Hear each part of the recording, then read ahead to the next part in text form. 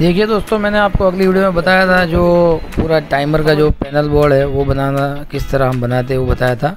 और इस वीडियो में आप देख सकते हैं कि जो टाइमर है रोटरी स्विच है इंडिकेटर है, उसका किस तरह हम वायरिंग करके देते हैं। अगर कोई चाहे रेडी पैनल साइज़ देकर तो रेडी पैनल भी हम बना के देते हैं। और अगर कोई चाहे कि इस तरह हमको वायरिंग करके टाइमर रोटरी स्विच और इंडिकेटर पुश स्विच दे दो तो हम अपने हिसाब से पैनल में लगा लेंगे। तो कोई टेक्नीशियन ट्रेडर डीलर चाहे तो इस तरह भी हम वायरिंग करके देते हैं। तो अगर आप को रिक्वायरमेंट है ऐसी चीज़ों की तो आप हमें कांटेक्ट कर सकते हैं। नंबर दिया गया है हमारा व्हाट्सएप कीजिए कॉल कीजिए एवरेस्ट कॉरपोरेशन ठीक है दोस्तों तो ये आपको हम ये फैसिलिटी देते हैं। जिस तरह रेडी पैनल किसी तरह ये भी करके हम आपको देंगे।